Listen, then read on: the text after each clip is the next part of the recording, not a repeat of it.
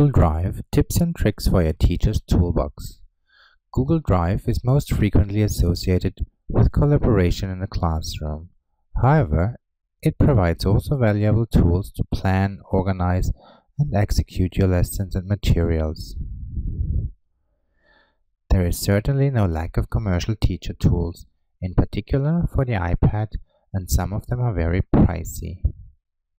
However, you can do more without additional costs with Google Drive. What's more, you can also work conveniently as you can work across devices such as laptops, smartphones and tablets and you are not restricted to using a single device. You can create your own Teacher's Toolbox application just by linking to different documents and materials in your Google Drive. I have set up basically two documents lesson planner, which is a doc, and a gradebook, which is a spreadsheet. I have created a shortcut of the lesson planner file on my tablet so that I can have fast access to it. I also chose the keep on device option so that I can reference the file even when there is no Wi-Fi connection. In my lesson planner, I do not only keep my lesson plans, but I also link to various files which I might need before during or after lessons. I open the gradebook by tapping on the link and choose Follow Link. The link takes me to a spreadsheet in which I keep track of homework and exam grades, attendance, and the summary for each student. Of course, I can also link to different materials which I can use for preparing my class or to read along during a class on my tablet. I like to keep my detailed lesson plans in a presentation, which I also use during the class. Again, I can link to different materials I need during the class. In this case, I need audio files for a listening exercise. I use my tablet mostly for reference only and do most of the typing on a PC or on my Chromebook, which I take along to each class. In case you prefer using a tablet in the classroom, you can make use of Google Forms to enter data, which reduces typing, e.g. by using a multiple choice question when entering grades, or as in this case, by using checkboxes for attendance lists. As mentioned before, I mostly use my Drive through the Chrome browser. Here is my lesson planner once again and a link to the gradebook for each of my classes.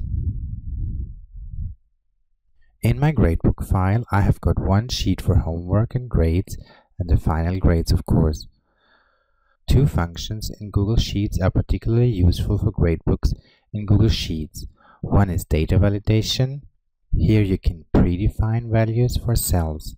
This is useful for entering grades, for example. Then you can simply use the grades from a drop-down list.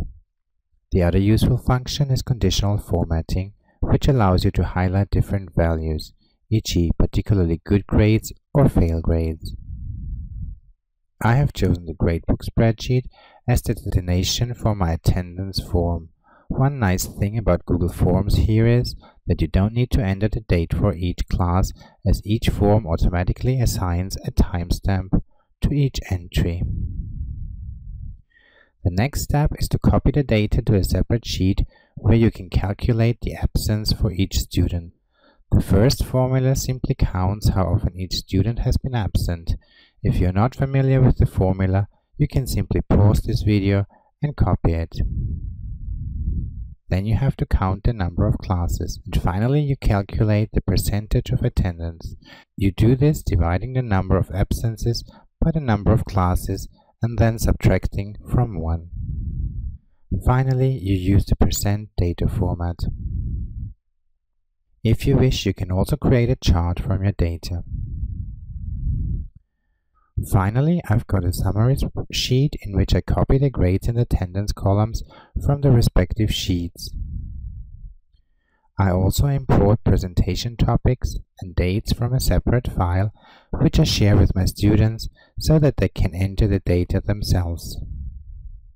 The formula here is import range, then the key of the spreadsheet, which you can copy from the URL link and the sheet as well as the column. If you want to keep the spreadsheet tidy, You can create a separate document for notes, behavior, and so on. If you want to use photographs of your students, a table in a document is easier to work with than a spreadsheet. You can link to parts of a document, like here by using an anchor. I do this by creating a table of content and copying the link from there. Back in my lesson planner. It's always a good thing to have fast access to your teaching materials so that you can quickly find them in the classroom or print them out for your students. In general, I prefer to keep my detailed lesson plans inside a Google Slide presentation. I use slides as a whiteboard to show solutions or corrections and again to link to materials such as videos and audio files in my Drive. You can also link to a specific slide in a presentation just by copying the current URL. Of course, this is just meant for inspiration, and I hope that you won't find it hard to create your personal teacher tool with Google Drive.